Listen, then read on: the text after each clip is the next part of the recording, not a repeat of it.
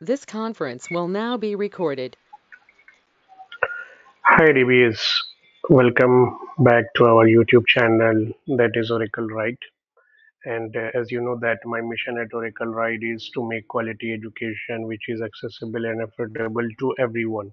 So my principle is learning and sharing the knowledge in the DBA community.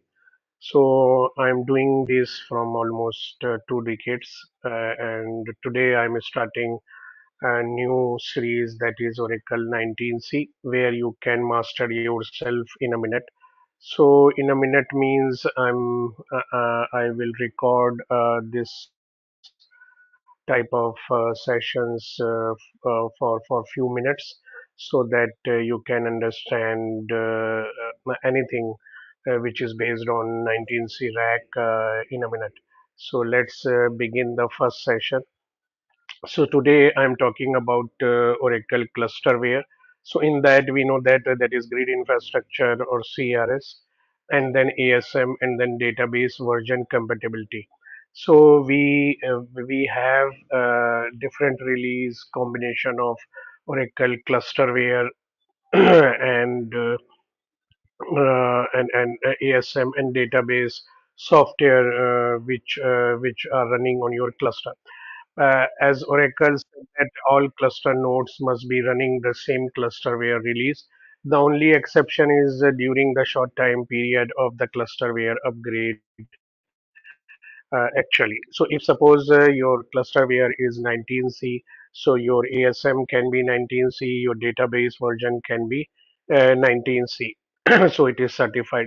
If your clusterware is 19C, ASM is 19C, and database is 18C, that is also uh, uh, working uh, fine and that is certified.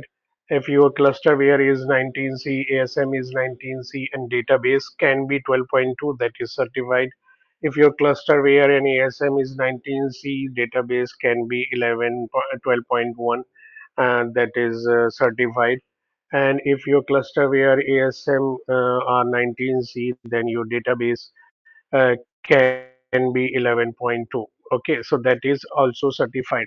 So actually i'm focusing on 19c RAC uh, so that's why i have i have uh, this matrix uh, which i have uh, this information i have taken from oracle uh, documentation or you can say oracle website.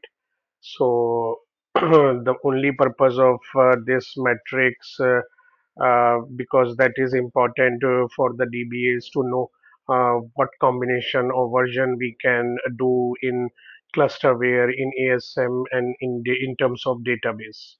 Okay, so that's it. Thank you.